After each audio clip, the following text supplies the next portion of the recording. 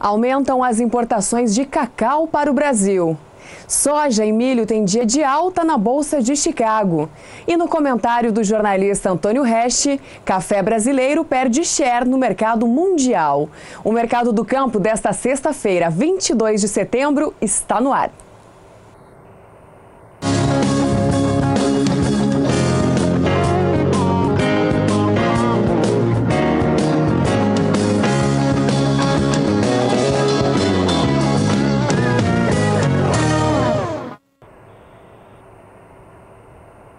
Olá, eu sou Sara Kirchhoff e falo ao vivo dos estúdios da B3 em São Paulo.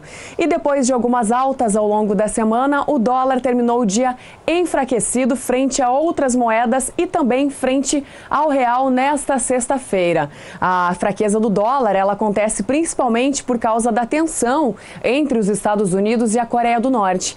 A Coreia do Norte afirmou que pode lançar uma bomba de hidrogênio, testar uma bomba de hidrogênio sobre o Oceano Pacífico, depois que o presidente dos Estados Unidos, Donald Trump, ameaçou destruir o país. Com isso, a moeda americana perdeu força nesta sexta-feira e, frente ao real, Dólar comercial tem queda de 0,50%, queda de 0,5% para o dólar comercial frente ao real nesta sexta-feira.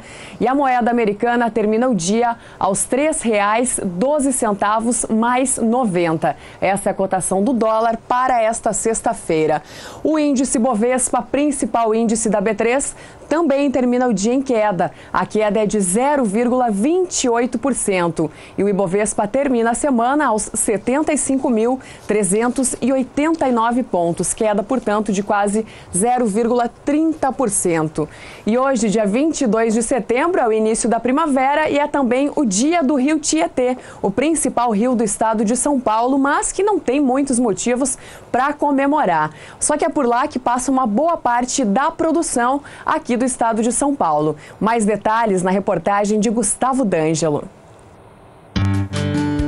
Em meio à mata nativa, a 1.030 metros de altitude da Serra do Mar, nasce o principal rio do estado de São Paulo. Batizado de Tietê, sua nascente fica no município de Salesópolis, a 22 quilômetros do Oceano Atlântico e a 96 quilômetros da capital paulista. Ao contrário de outros rios, em vez de buscar o mar, o Tietê atravessa a região metropolitana de São Paulo. Só que lá é transformado num verdadeiro depósito de sujeira e se torna sinônimo de poluição. Depois o Tietê segue para o interior do estado e deságua no Rio Paraná, na divisa com Mato Grosso do Sul, um percurso de mais de 1.100 quilômetros. Quando passa pelo interior, oferece alto potencial de aproveitamento para a geração de energia elétrica, o que motivou a construção de várias barragens. O rio também tem em seu entorno tanto cidades que o utilizam para se abastecer, quanto para atrair negócios como indústrias, turismo e lazer. Nós pegamos uma carona no barco da Michele e percorremos um trecho do Tietê que passa pelo município de Buritama, onde recebe obras para aprofundar o canal do rio, a intenção é melhorar e aumentar o transporte hidroviário. Além de oferecer todas essas opções, o Rio Tietê ainda é um dos principais meios de transporte para o escoamento da produção aqui da região. Através da hidrovia Tietê-Paraná, barcaças passam pelo trecho transportando diversos produtos que seguem para exportação pelo Porto de Santos. A hidrovia Tietê-Paraná possui 2.400 quilômetros de extensão, sendo 800 quilômetros no estado de São Paulo, no rio Tietê. Conecta cinco dos maiores estados produtores de grãos: Goiás, Mato Grosso, Mato Grosso do Sul, Minas Gerais e Paraná. Dados do Departamento Hidroviário do Estado de São Paulo apontam que em 2016 a Tietê Paraná bateu recorde de movimentação de cargas, ao transportar 8 milhões e 700 mil toneladas de produtos. As principais cargas que vêm para São Paulo pelo Tietê são milho, soja, óleo, madeira, carvão, cana-de-açúcar e adubo. De janeiro a julho de 2017, foram movimentadas 5 milhões 760 mil toneladas de produtos por toda a hidrovia. Números que mostram o potencial e a contribuição do Tietê para a economia do estado paulista.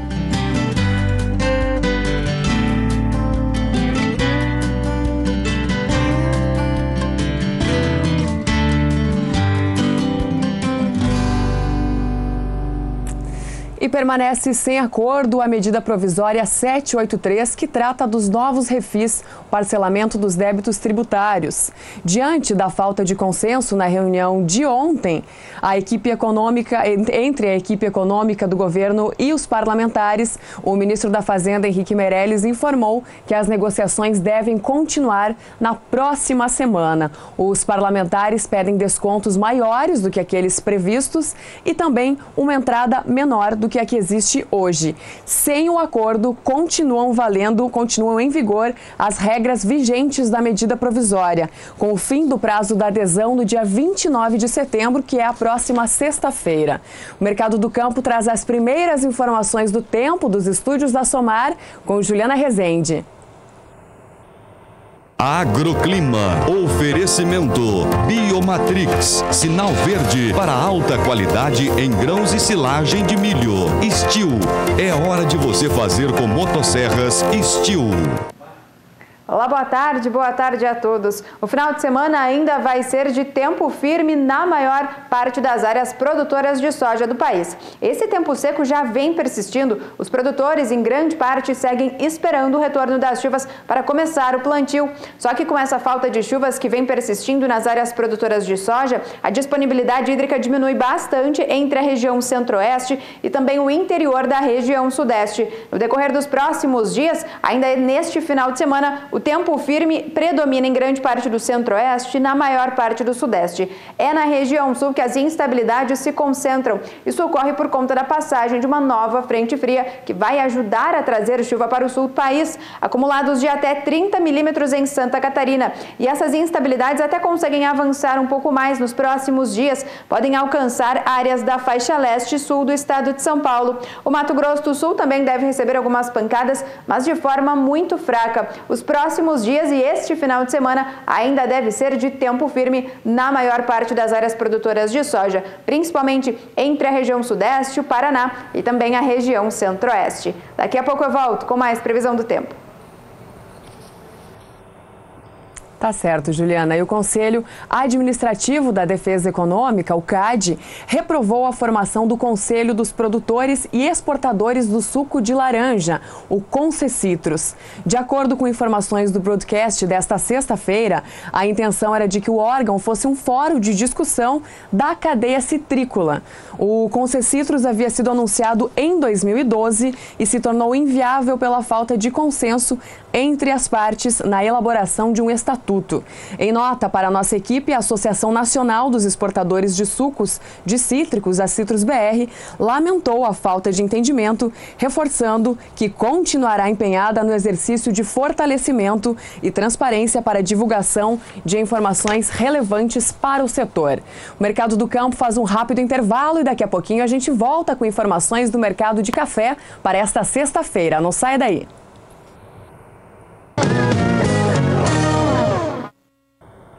Mercado do Campo está de volta, falando ao vivo dos estúdios da B3 em São Paulo, agora 5h46 da tarde, horário de Brasília. E o Brasil, que é o principal produtor e exportador de café arábica, vem perdendo share no mercado mundial. Esse é o assunto do comentário de hoje do jornalista Antônio Resch. Olá. Bom, e o Brasil continua perdendo o mercado, o que se chama em inglês de share mercado mundial de café. Com as crises, a produção, a seca, enfim, o fato é que o Brasil está perdendo mercado, que sempre teve 33% do mercado mundial de café, de exportações, já caiu para menos de 30%. Segundo a última informação que eu tenho, o Brasil está exportando aí por volta de 29% do mercado mundial de café. E os números do Conselho dos Exportadores de Café demonstram isso. Eu vou ler aqui para vocês. Uh, de janeiro a agosto de 2016, o Brasil embarcou 21 milhões 299 mil sacas de café. Nesse mesmo período, uh, julho agosto de 2017, o número caiu para 19 milhões 332 uh, mil sacas. Ou seja, é preciso efetivamente se criar uma política eficiente para o mercado de café que beneficie produtores, uh, consumidores, exportadores, enfim, porque é um produto tradicional e que o Brasil acaba perdendo mercado por falta de política aqui dentro do país. Até o próximo boletim. Até o próximo boletim, Antônio Reste. Por aqui o assunto continua sendo café, porque as previsões de chuva para a virada do mês no cinturão cafeiro aqui no Brasil pressionaram as cotações do café hoje, tanto do café robusta na Bolsa de Londres, quanto o café arábica na Bolsa de Nova York. Começamos então com o café robusta em Londres. O contrato para o mês de setembro, por exemplo, caiu 0,34% nesta sexta-feira. Nos últimos negócios, o valor é de 2.028 dólares a tonelada. Os contratos para o mês de novembro tiveram a mesma queda de 0,34% e nos últimos negócios, o valor do vencimento é de 2.005 dólares a tonelada. Contratos para janeiro do ano que vem, abaixo do patamar dos 2 mil dólares a tonelada, são 1.979 dólares a tonelada, com uma queda de quase meio por cento. E os contratos para março, esses sim, caíram meio por cento, negociados hoje por 1.970 dólares a tonelada. Essas foram as cotações do café robusta na Bolsa de Londres. Passamos para o café arábica na Bolsa Futura de Nova York, começando com o contrato para o mês de dezembro, que hoje caiu 0,40% por lá. Nos últimos negócios, o valor do vencimento é de 1 dólar e 34 centavos por libra-peso. Contratos para março do ano que vem, 1 dólar e 38 centavos por libra-peso, também queda, queda de 0,32%. Contratos para maio do ano que vem, em queda de 0,31%, no valor de 1 dólar e 40 centavos por libra-peso. Para finalizar, café BMF Bovespa negociado aqui na B3 em São Paulo. Contrato para o contratos com vencimento para dezembro foram 180 contratos negociados no valor de 164 dólares e 80 centavos a saca. Nos últimos negócios, o contrato apresenta o valor de 165 dólares e 25 centavos a saca, demonstrando aí uma tendência mais positiva para o próximo pregão. Mas o de hoje, no contrato de dezembro, teve queda queda de 0,63%. Contratos para o mês de setembro do ano que vem, 172 dólares e 15 centavos a saca, em desvalorização de 0,35%. E para finalizar, contratos para setembro de 2019, 183 dólares a saca, queda de 0,38%. Café em queda hoje, tanto então na Bolsa de Londres, café robusta, quanto na Bolsa de Nova York, o café arábica e também café BMF aqui na B3. E começou hoje a primavera, 22 de setembro. Para saber como é que vai ser a estação para os produtores rurais, mais uma vez vamos para, vamos para informações do tempo com Juliana Rezende.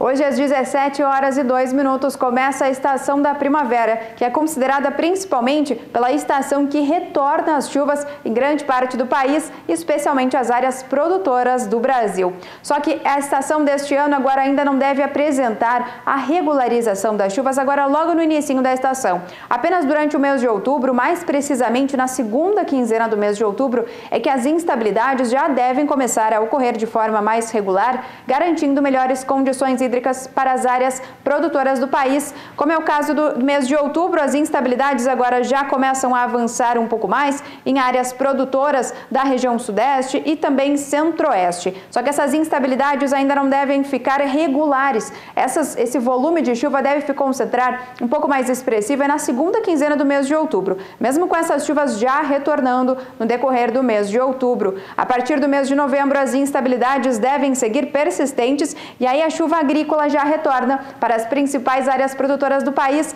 Volume de chuva nas áreas em amarelo podendo alcançar até 200 milímetros.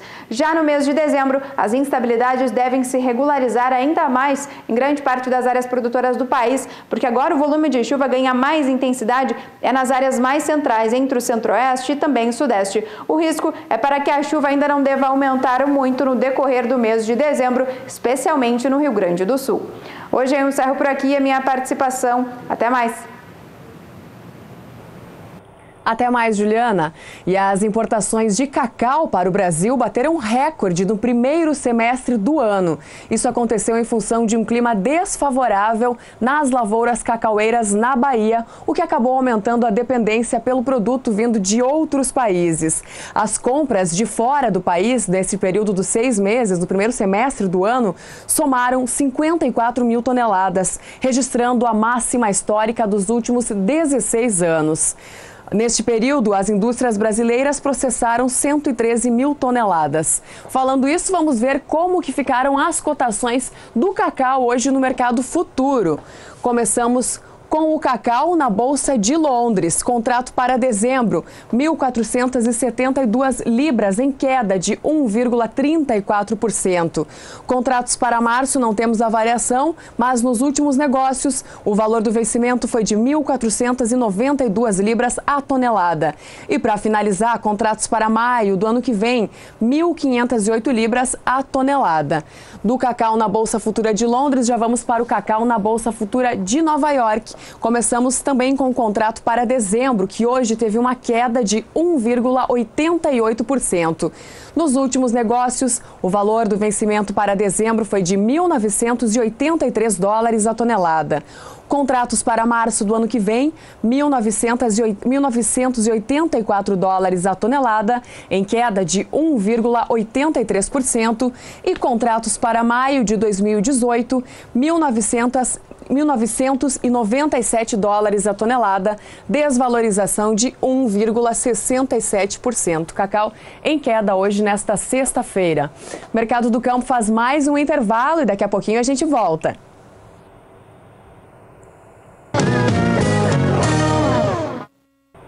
Estamos de volta falando ao vivo dos estúdios da B3 em São Paulo, agora 5h57 da tarde, horário de Brasília.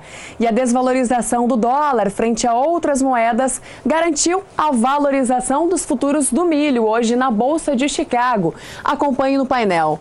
Contrato para o mês de dezembro subiu quase 1% e nos últimos negócios o valor do vencimento foi de 3 dólares e 53 centavos por bushel.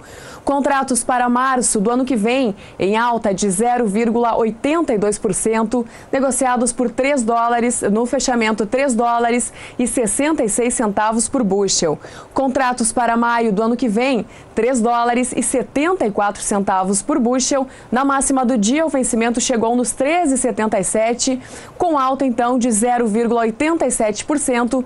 Terminou o dia lá em Chicago aos 3 dólares e 74 centavos por bushel. Para finalizar, o contrato para julho do ano que vem, 3 dólares e 81 centavos por bushel, uma alta também de quase 1%, 0,92% foi a valorização desse contrato. Milho BMF Bovespa veio em queda hoje, ao contrário do milho lá em Chicago. Os contratos para o mês de novembro caíram 1,94% e no ajuste atual, o valor do vencimento foi de R$ 31,40 a saca. Contratos para janeiro do ano que vem. R$ 32,82 a saca, em queda de, de 1,71%. Contratos para março do ano que vem, o contrato mais negociado para o milho hoje na Bolsa de Valores de São Paulo. Foram 350 contratos negociados no valor de R$ 33,75 a saca, em queda de 1,75%. Para finalizar, contratos para maio de 2018, R$ 32,67 a saca, em queda de 1,39%. Do milho já vamos para a soja em Chicago, que hoje também veio em alta, também influenciado por essa desvalorização do dólar e também por uma boa demanda pela oleaginosa nos Estados Unidos, apesar do avanço da colheita por lá. Contrato para o mês de novembro subiu quase 1,5%. Nos últimos negócios, o valor da soja futura em Chicago foi de 9 dólares e 84 centavos por bushel no contrato para o mês de novembro. Contratos com vencimento para janeiro do ano que vem, 9 dólares e 94 centavos por bushel, uma alta de 1,45%. Contrato para março do ano que vem, passando dos 10 dólares, 10 dólares e 3 centavos por bushel, alta de 1,43%. E contratos para maio do ano que vem, 10 dólares e 11 centavos por bushel, alta de 1,40%. Já vamos para a soja BMF, soja negociada aqui na B3 em São Paulo, que também teve um dia positivo hoje para os futuros da oleaginosa. Contratos para o mês de novembro, em alta de 1,36%. No ajuste atual, o valor desses papéis deste vencimento foi de 21 reais, 21 dólares e 69 centavos a saca. Contratos para janeiro do ano que vem, 21 dólares e 92 centavos a saca, alta de 1,39%, e contratos para março do ano que vem, em alta de 1,33%, negociados hoje aqui na B3 por 22 dólares e 12 centavos a saca. Selic em baixa não garante juros mais baixos. É o que disse o economista-chefe da Gradual Investimentos, André Perfeito, que conversou com o jornalista Walter Pulga Júnior. Vamos acompanhar. André, obrigado. Você sempre participa uhum. da programação do canal do Boi, uhum. do SBA uhum. e mais uma vez atendendo o nosso convite. Vamos falar um pouco sobre custo do dinheiro, Sim. sobre juros. Vamos. Selic cai este ano para perto de 7%?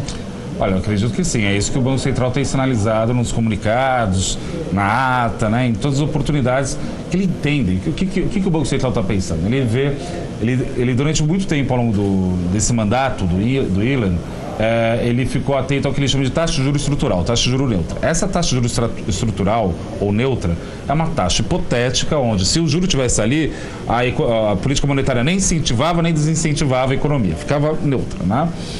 É, ele falou: olha, para você baixar a taxa de juros estrutural ou neutra, você tem que fazer as reformas. E algumas reformas foram feitas. Foi feita a reforma trabalhista, foi feita a reforma é, do creditício, ou seja, alteraram a NTNB para a NT, NTB, que eu acho uma bobagem ter feito isso, mas enfim, fizeram essa reforma aí também.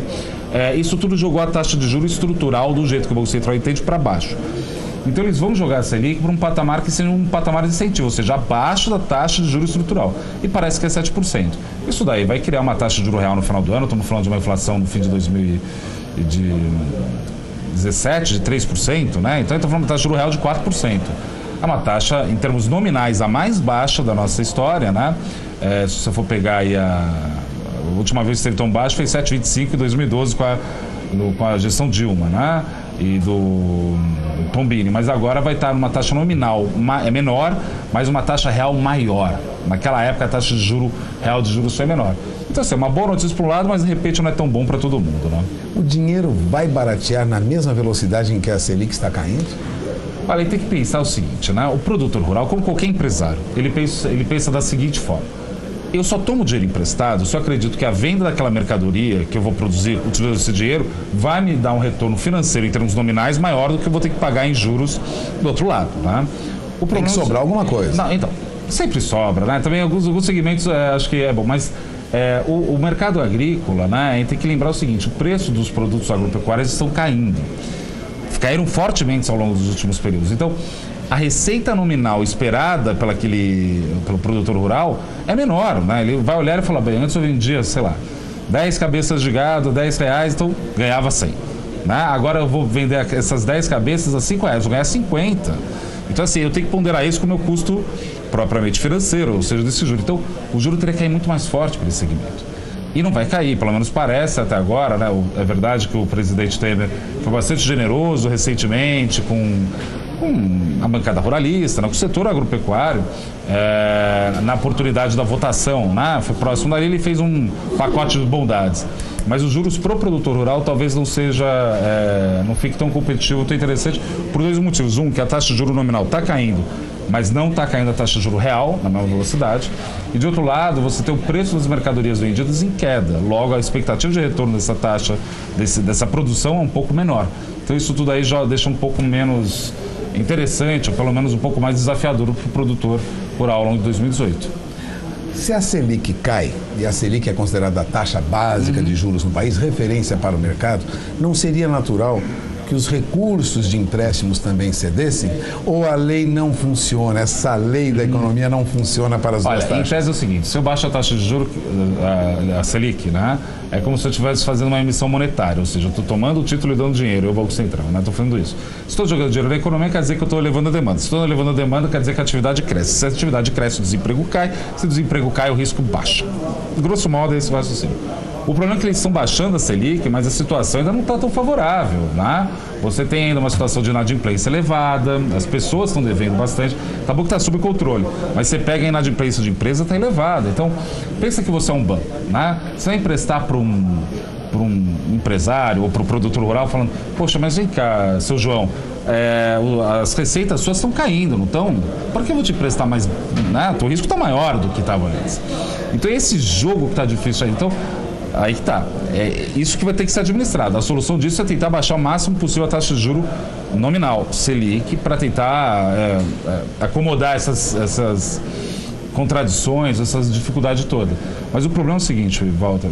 É, a gente está numa economia onde todo mundo está querendo desalavancar. As famílias querem pagar as dívidas, as empresas querem pagar as dívidas e o banco, os bancos não querem emprestar dinheiro para a gente endividada e o governo quer cortar os gastos. Se todo mundo corta ao mesmo tempo, é a imagem é mais ou menos o seguinte: imagina uma estrada, está congestionado. Para um carro ir para frente, quando a estrada está andando, os carros vão atravessando um, vão atravessando o outro. Tranquilo, um dá espaço, vai indo, um consegue passar para o outro, passar pelo outro. Quando é numa estrada que está com trânsito congestionada, para um carro passar para frente, outro tem que passar para trás. Como todo mundo está querendo passar para frente, um começa a bater no outro, a variável de ajuste é capital, ou seja, a gente vai destruir capital, os carros vão se amassar. Colocando isso de forma mais simples, se todo mundo desalavancar ao mesmo tempo, não dá certo. A nossa sorte é que o setor externo está ajudando a gente. Aí tá, o, setor externo está jogando dinheiro aqui, dando saída para a gente. Isso é, por sinal, dá bem, né? Porque a gente fez isso durante um tempão para o resto do mundo. Agora o mundo está ajudando a gente. Então a queda de juros, insisto, é um sinal positivo, é importante, mas é, não é ainda o suficiente para aliviar os problemas mais crônicos ou agudos de alguns setores, como pode ser do agronegócio em alguns segmentos. Então, de olho no custo do dinheiro, pense duas vezes em obter financiamento. Eu acho que é o seguinte, o produtor rural ele está entre a, a cruz e a espada, não tem jeito, ele vai ter que tomar. Agora, o, que, o cálculo tem que ser feito é o seguinte, qual a expectativa de retorno daquele dinheiro? Porque agora, é, daquele dinheiro investido na sua mão, produtor rural.